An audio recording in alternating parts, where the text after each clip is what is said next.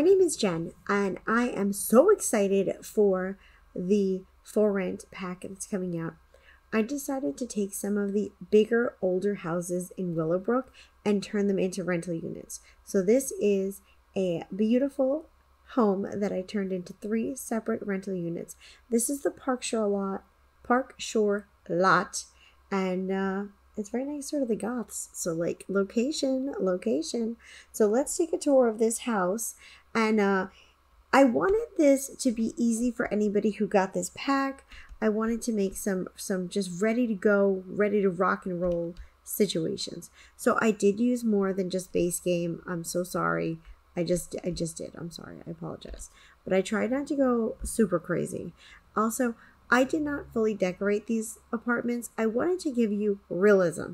So what I did was I basically just um, decorated it with kitchens and bathrooms as you would have if you were moving in. So this is the first apartment that we have. Pardon my pardon my camera angles. It has been a hot minute since I've played The Sims, so just bear with me. But this is a beautiful uh, nice one bedroom. You got this lovely galley kitchen, uh, fantastic views. You get your own front porch. Let's go over here on this side. So, in my process, I decided to not mess with the actual structure of the homes. And so I didn't want to like redo major things. I just kind of kept within the structure. This is your one bedroom, which is nice, spacious. Uh, you got a little a nook area for a desk or a dresser. Perfectly good for a single sim. And then here is your bathroom, which I actually think this is a very nice bathroom. Pretty updated, stylish, nice situation. So let's pull out of this apartment. So that is unit one, which is a one bedroom. So there are two one bedrooms and there is one three bedroom. This is the uh, entrance to the three bedroom lot. So the three bedroom lot is great for families. It is on the second floor. So this is your private entrance. You have this whole little foyer to set up whatever you need, you know, little shoes, hats, what have you. Let's go upstairs and see what is abound.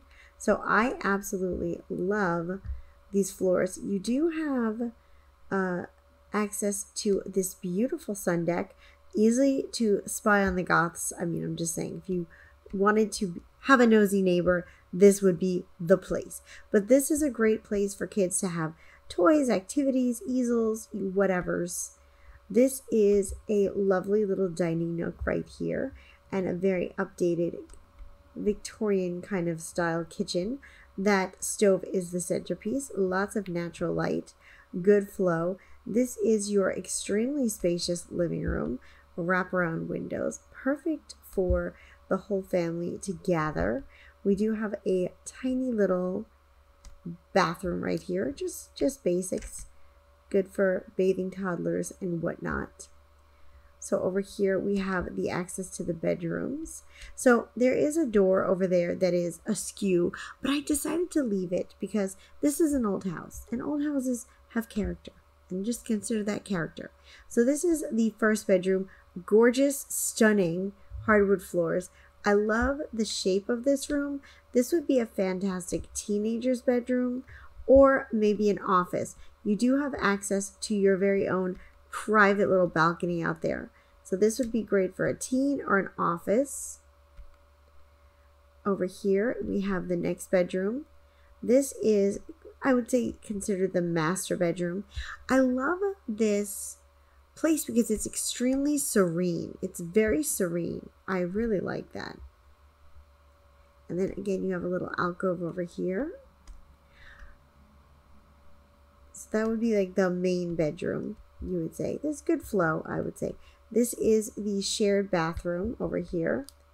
It's a little dated. It's not not the best, but you know, clean. And this room right here, I really thought this would make an excellent nursery. I just, I love the, the carpeting in here. It gets such good light. It's so peaceful. I just think this would be a great little nursery room. So I'm digging it. let's go downstairs to our other one bedroom. We have this fantastic community grill area for everybody to get together. And then this is the last one bedroom home right here. So if you have a young family and you want to be able to have two units to rent out to make extra money, this would be an ideal situation. So this unit has its very own porch all to itself, which is pretty nice. And welcome to the last unit. So when you walk in here, you go straight into the bedroom. This is the uh, one bedroom. It is a decent sized bedroom. You could definitely fit a double bed in there, nice light. Let's go down the hallway. They have this beautiful original flooring in here. And this is just a nice little bathroom. Clawfoot tub. Go around the bend. And you have this big open space. This is a gorgeous place to just entertain. You can have your living room, dining room area in here. It's very light and bright. You also have this cute little cozy kitchen right in here. Uh, we do need to install a light. Uh, we'll get the electricity guy on that uh, ASAP. But yeah, this is just a nice little kitchen nook. You could have a table here if you want to. You can have all your living room stuff there. And this is the last unit. So you've got one three bedroom unit upstairs and two one bedroom units downstairs. This is a great rental place. Again, it's the Parkshore lot. It is up on the gallery. My gallery name is Misplaced Moo. I will have that written and linked below. And uh, let me know what you guys think. It's been a while since I played The Sims. Uh, I was playing a Let's Play family. I was very attached to them. They got they got lost.